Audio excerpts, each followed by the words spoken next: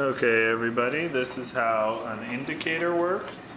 Um, this indicator is colored, or all indicators are colored, so you can um, tell approximately what the pH is. And um, in fact, this indicator in particular, bromocresol green, goes through a few different color changes.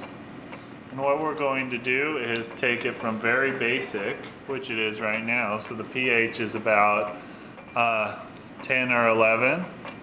We're going to take it to a more acidic um, pH.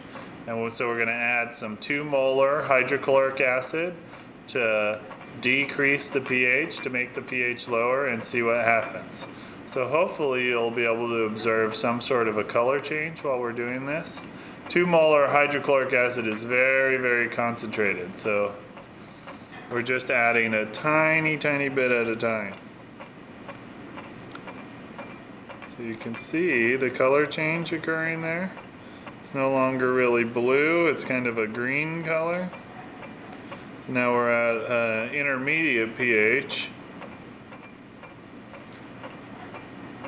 So this would be about the pH of uh, around uh, 5 or even lower than that. The fours. And you can see now it went from uh, green to yellow. Now we'll just increase the pH really a lot. Just dump a bunch of HCl in there and you see it didn't change the color of the solution at all. So when you get to a pH of about